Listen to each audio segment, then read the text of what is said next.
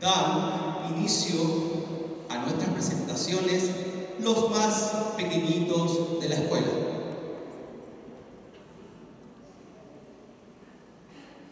Nuestra prebásica de la jornada de la mañana, quienes presentarán a ustedes una muestra de la zona centro-sur de nuestro país y de nuestros pueblos originarios como los mapuches.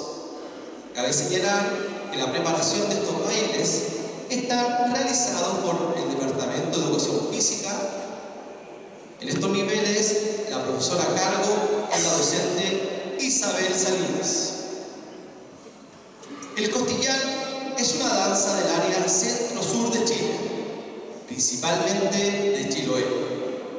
Se relaciona con la antigua costumbre de bailar o reunirse en torno a una figura totémica, un árbol o el fuego.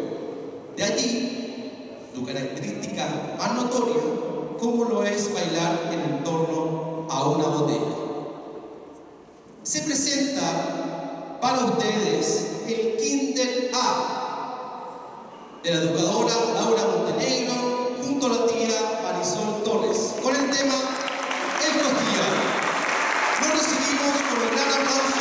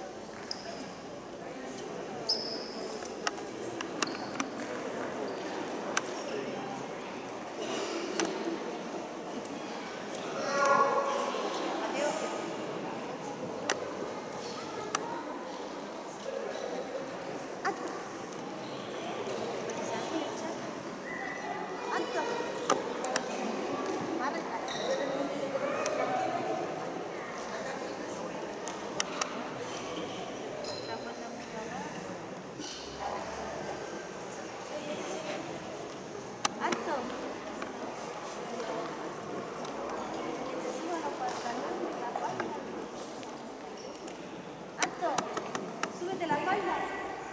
Súbete la falda. Más arriba.